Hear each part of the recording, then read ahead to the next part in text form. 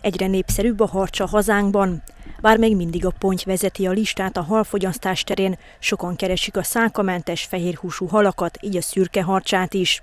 A Keszthelyi Georgi hallaborjában évek óta dolgoznak azon, hogy kifejlesztenek egy olyan termelési technológiát, amelynek köszönhetően Magyarország a harcsatenyésztés központja lehet. Kilenc éve most már Belcsényi Miklós professzor úr kezdeményezésére és vezetésével a harcsával, lesőharcsával foglalkozunk.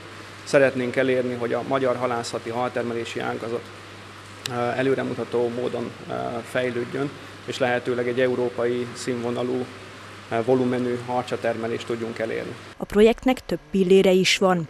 Ilyen például a takarmányfejlesztés és a különféle technológiai elemek fejlesztése, de kutatásokat folytatnak a halegészségügy terén is.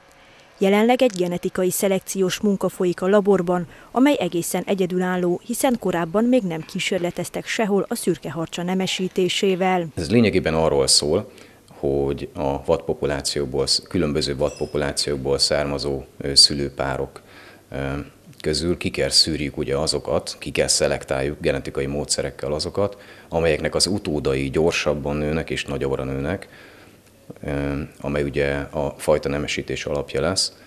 Tehát lényegében ez a célja a kutatásunknak, hogy egy módszertan fejlesztése, amivel ezek a szülők, szülőpárok, ezek kiszűrhetők. A kutatás végső célja, hogy a hazai harcsatermelést a jövőben stabilabb alapokra helyezze. Ez azt jelenti, hogy ez a típusú hal nagyobb mennyiségben lesz elérhető a termelők számára is, így a fogyasztók könnyebben és várhatóan olcsóban juthatnak hozzá ehhez a szálkamentes fehérhúsú halfajtához.